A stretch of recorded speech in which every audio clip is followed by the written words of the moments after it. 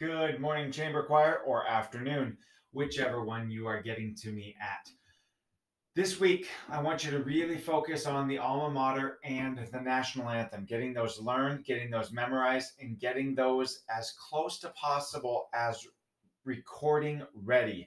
If we can get those two things off your plate, then a light in the hallway is going to be your only focus, and that reduces all the stress within your plate.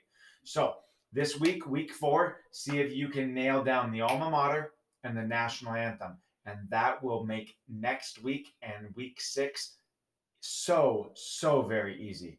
We've got this, Hornets. Chamber Choir, I'm really proud of you.